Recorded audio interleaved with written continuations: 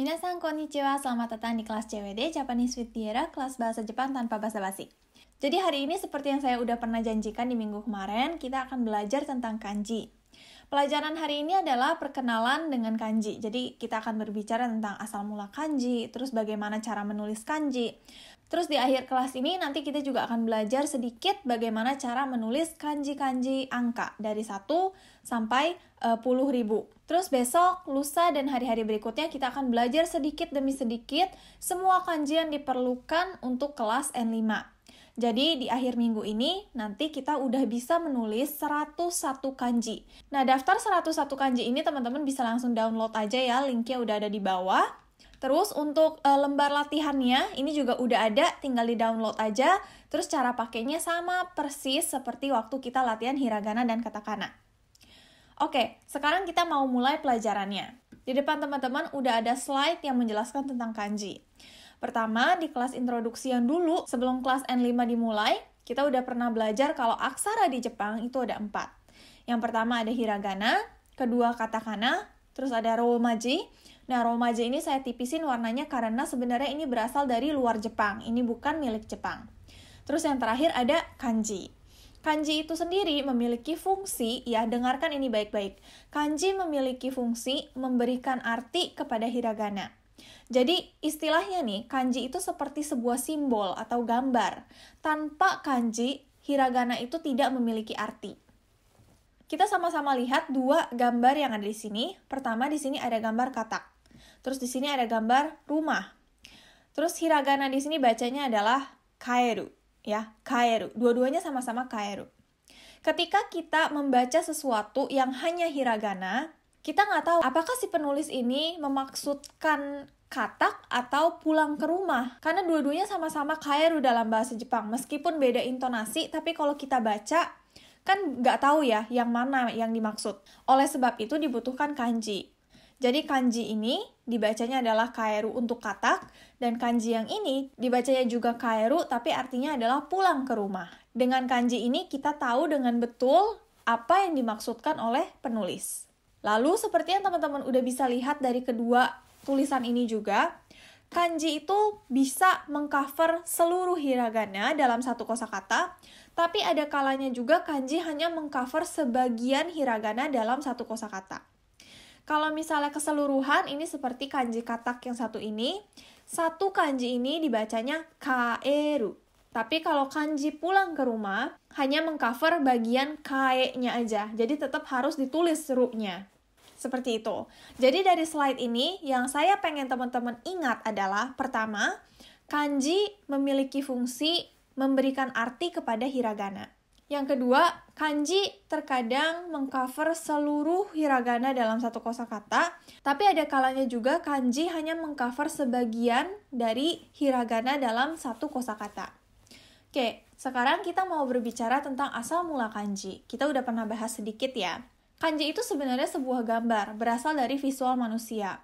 Misalnya kanji ini, se artinya adalah hidup. Asal mula kanji ini adalah dulu orang di zaman dahulu banget gitu, melihat rumput liar dan setiap ganti season ganti season tetap tumbuh lagi tetap tumbuh lagi nggak pernah mati selalu tumbuh lagi.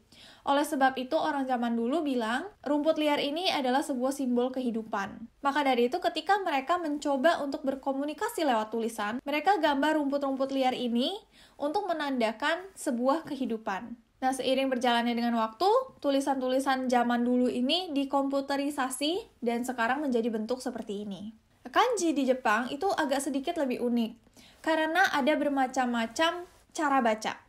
Kalau di Cina satu huruf ya untuk satu suara. Tapi kalau di Jepang satu huruf itu bisa bermacam-macam suara. Nah, suara-suara ini dikelompokkan menjadi dua jenis. Yang pertama adalah onyomi yaitu suara Cina dan yang kedua adalah kunyomi, suara Jepang. Untuk cara baca onyomi dan kunyomi nanti kita akan bahas lagi. Sekarang saya mau ajak teman-teman untuk melihat kedua kata yang ada di bawah ini. Yang sebelah sini bacanya adalah ikiru. Yang sebelah sini bacanya adalah gakuse. Nah, ketika teman-teman melihat kanji, teman-teman melihat ada tulisan hiragana kecil di atas ini. Ini disebut dengan furigana atau cara baca. Furigana ini bertugas untuk memberitahu kepada para pembaca bagaimana cara membaca kanji-kanji tertentu. Furigana ini bisa dalam hiragana, bisa dalam katakana, bisa juga dalam alfabet. Jadi furigana itu tidak terpaku pada satu jenis aksara aja. Nah, seiring berjalannya dengan waktu, teman-teman udah naik level, naik level, naik level, dari N5 menjadi N1 misalnya, furigana ini lama-kelamaan tidak ditulis lagi. Sekarang kita sama-sama mau lihat ke contoh soal reading untuk N5. Ini contoh soalnya. Seperti yang teman-teman bisa lihat, setiap kanji itu ada furigananya. Jadi kita bisa baca semuanya, asal kita lancar baca hiragana dan katakana. Tapi setelah teman-teman naik ke N1, ini adalah e, dokai atau reading untuk N1, hampir tidak ada furigana sama sekali kecuali di kosakata-kosakata tertentu. Jadi kesimpulannya kalau teman-teman mau lulus N1, N2, N3, teman-teman harus hafal semua kanji yang ada di level bawahnya. Sekarang kita balik lagi ke slide yang satu ini. Tadi saya udah bilang ada cara baca kuyomi, ada cara baca onyomi. Pertanyaannya adalah kapan kita pakai kuyomi, kapan kita pakai onyomi. Kalau kuyomi ini dipakai ketika satu kanji itu masih satu kesatuan dengan hiragana. Ketika teman-teman melihat kanji berhimpitan atau berdempetan dengan hiragana, biasanya cara bacanya dengan kunyomi. Terus yang kedua, kunyomi ini dipakai juga untuk nama orang Jepang asli. Misalnya Sato-sang, terus misalnya Suzuki-sang, ini semuanya memakai kunyomi. Lalu onyomi ini dipakai ketika ada kanji yang berderet. Bisa dua, bisa tiga, bisa empat, dan seterusnya.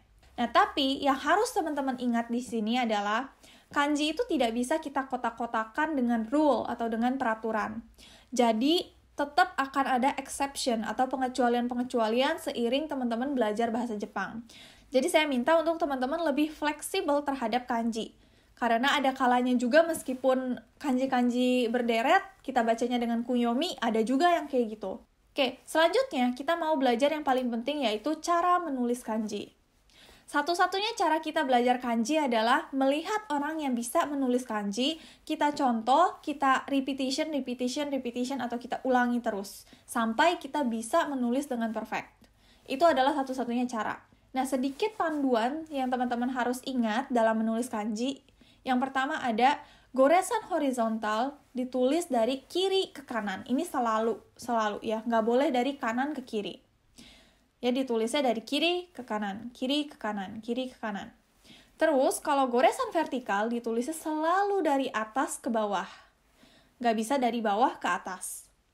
Jadi saya mau jelasin sedikit, kanji itu memiliki jumlah goresannya masing-masing. Setiap satu kali goresan itu dihitung satu kali, dan khusus untuk yang bentuknya seperti ini, ini ditulis satu kali. Jadi ini bukan dua goresan, tapi satu goresan. Terus yang terakhir, secara keseluruhan, kanji itu biasanya ditulis dari antara kiri ke kanan, atas ke bawah,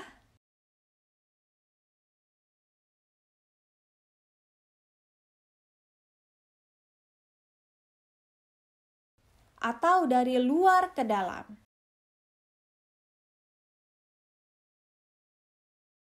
Selama saya bertahun-tahun di Jepang, main YouTube gitu, saya sering banget mendapatkan pertanyaan-pertanyaan ini tentang kanji. Yang pertama, kapan memakai kanji di kehidupan sehari-hari? Kita memakai kanji di Jepang itu setiap hari, di setiap waktu, saat kita berkomunikasi dengan orang Jepang asli.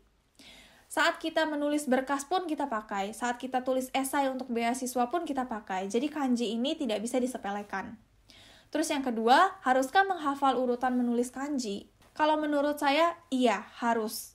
Karena kanji itu salah satu budaya Jepang, dan orang Jepang itu sangat menghargai budaya mereka. Mereka dari kecil itu udah diajarin cara tulis kanji yang baik dan benar dengan urutan-urutan yang sudah ditetapkan. Jadi menurut saya kalau misalnya kita mau menghargai uh, budayanya orang Jepang, kita harus menulis kanji dengan urutan-urutan yang benar.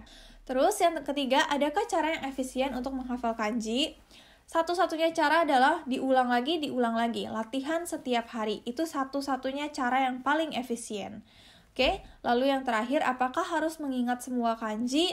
Jawaban saya adalah tergantung tujuan teman-teman. Kalau teman-teman mau lulus N1, iya harus.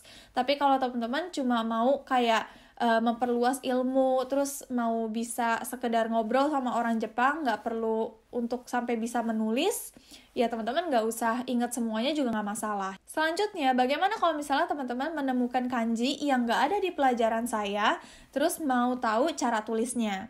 Di sini saya ada website yang bagus namanya adalah kakijun.jp. Nanti ketika teman-teman buka websitenya bentuknya seperti ini, terus lewat website ini kita bisa cari tahu cara menulis kanji. Misalnya teman-teman mau mencari tahu kanji gaku, gaku, gakko, gaku ya. Artinya adalah belajar. Di sebelah sini teman-teman bisa tulis gaku atau langsung copy paste aja. Klik simbol yang search ini. Terus setelah itu langsung keluar kayak gini. Ini adalah urutan cara menulisnya. Dan di sini bisa diganti-ganti speednya sesuai dengan kemauannya teman-teman. Terus di website ini teman-teman juga bisa melihat keterangan dari kanji tersebut. Ada berapa kali goresan, terus ada e, cara bacanya apa aja. Ini bisa dicari di website ini. Lalu yang terakhir kita mau fokus atau review ulang sedikit sebelum kita masuk ke latihan menulis kanji hari ini. Yang pertama, kanji merupakan aksara yang memberikan arti kepada hiragana.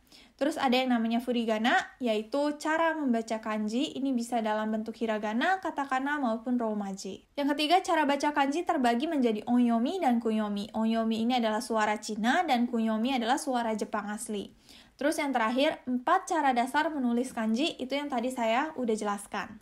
Tadi kita juga udah sama-sama belajar ya, kalau kanji itu berasal dari visual manusia visual manusia yang digambar. Berarti kanji ini berasal dari gambar seseorang. Nah, gambar itu adalah sebuah karya seni.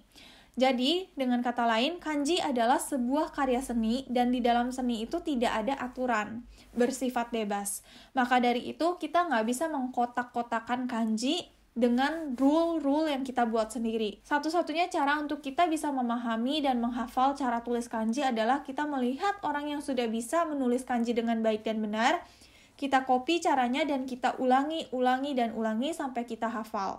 Oke, sekian pelajaran hari ini dan kita mau coba menulis kanji sedikit. Di sini teman-teman sudah hafal ya suara 1 sampai 10. Ichi, ni, san, shi, 5, 6, 7, 8, 9, 10. Terus untuk 100 ada hyaku atau byaku, 1000 ada sen, dan untuk puluh ribu yang nolnya 4 ini disebut mang. Terus mata uang Jepang disebut dengan yen, kanjinya seperti ini. Kadang-kadang teman-teman mungkin lihat mata uang Jepang itu ditulisnya seperti ini ya. Kedua ini sama aja ya, tapi biasanya orang Jepang asli sih pakainya kanji yang ini, bukan yang ini. Kita mau sama-sama belajar cara tulisnya. Silahkan lihat ke video berikut ini.